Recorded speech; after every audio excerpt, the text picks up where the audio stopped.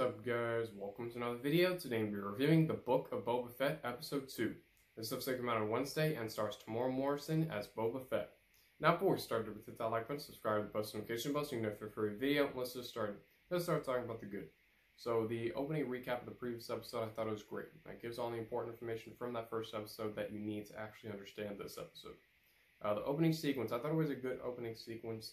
Um, it's Boba Fett and Fennec Shand and they're sort of interacting with the Night Wind assassin, uh, their prisoner, which was uh, one of the assassins.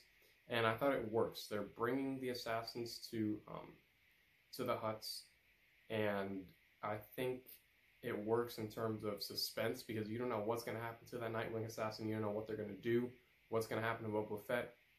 So I think it works really, really well. Um, the cinematography, which of course was the shots, cameras, the lighting, is fantastic. I thought it uh, looks really, really well done. It looks similar to the first episode, but then again, the first episode looked really, really good. Um, the character design, especially Maz Shaiz, which is this alien creature with a long neck, fantastic. I'm very, very happy that Star Wars is going back to practical effects. Um, just like with every other Star Wars film, that is the one thing that I love about Star Wars is the practicality of it. And this alien alone, Maz Shaiz, looks awesome. Um, the reveal of the Hutts, which I think are Jabba the Hutt's siblings, I thought it was great. Um, I like how the Hutts are used in this TV show because um, they're actually um, needed because Boba Fett has some sort of deal that he makes with Hutts. Um, so I thought it worked really, really well. Um, there is a lot of awesome and edge of your seat action sequences in this episode, especially the Tusken Raiders and Boba Fett versus the trains, which is this sand battle. It was very, very well done. The action sequence, the cinematography, especially for that action sequence, looked fantastic. It's easily one of the best action sequences in a Star Wars TV show or live action TV show thus far. Um, I thought it worked very well. Um, and it fits the tone of the episode because this episode's more fun and lighthearted. So that sequence alone was a lot of fun and it looked very, very well done. Um, the training sequences with Boba Fett and the Tusken Raiders. Uh, Boba Fett learns how to fight like Tusken Raiders, and the Tusken Raiders learn how to um, ride those speed, uh, the speeders, the sand speeders, and I think it works very, very well. Um, I wasn't a big fan. Well, I didn't think I was going to be a big fan of the Tusken Raiders and Boba Fett working together because the Tusken Raiders were kind of this this nomadic group that just doesn't have any laws and they're basically savages. So I didn't think that it was going to work all that well. But just by that sequence along with Boba Fett training um, the, uh, the, the Tusken Raiders, I think it worked very, very well.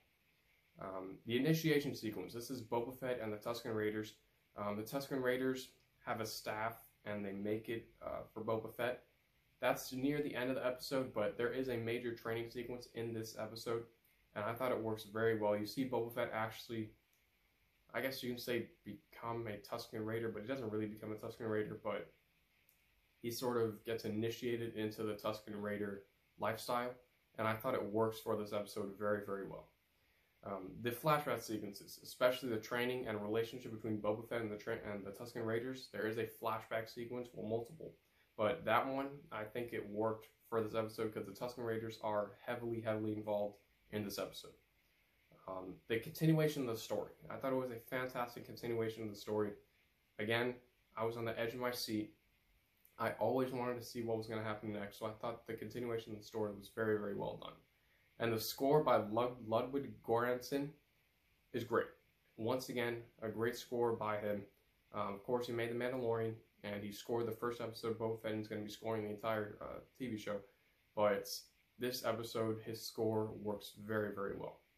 Uh, and the ending sequence. Now, the ending sequence I thought it was great. It was a great ending sequence. Uh, it sets up the next episode perfectly, and I think it works as a, I guess you can say, conclusion for this episode. That's about it. There's nothing bad about this episode. The Book of Boba Fett, episode 2, is a fantastic continuation of the Book of Boba Fett.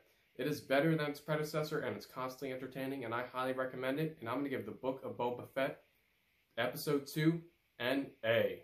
Thank you for watching. Don't forget to hit that like button, subscribe to post notification bell so you can know for a free video. I'm Peter. Thank you for watching.